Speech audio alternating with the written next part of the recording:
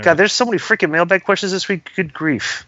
Um, the next one is from uh, Dan Zena, and the subject is uh, Konnan No Limit Soldiers. Sub Konnan and Disco, no bullshit. I've been a fan of you guys since back in the WCW days.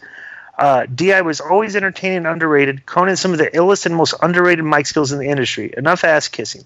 I want to ask about Konnan his run with the No Limit Soldiers. Even though it was very short lived, I remember liking the No Limit Soldiers run back in WCW, and I remember Konnan and Rey Mysterio doing that little juking and jiving in the ring.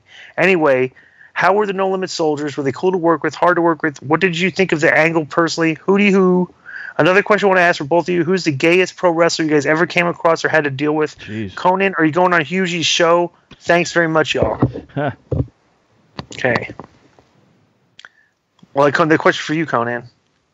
Um, no Limit Soldiers. I think that might have been Kevin Nash's idea, and which was very smart because they were very hot at the time. But it's very hard for white bookers to be booking, you know, uh, uh, motherfucking a gangster group, a gangster rap group from New Orleans. You know what I'm saying? So um, they dropped the ball on that very quickly, and they were all cool to work with. Master P's a fucking genius, and um, so that's basically the no limit thing.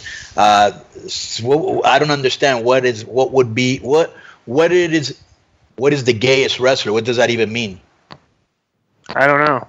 Okay. Kanyon, I guess, because he was the only one that out himself. So Yeah. So, um, uh, and then the other one was no, no, I'm not going on the Hugely show. okay.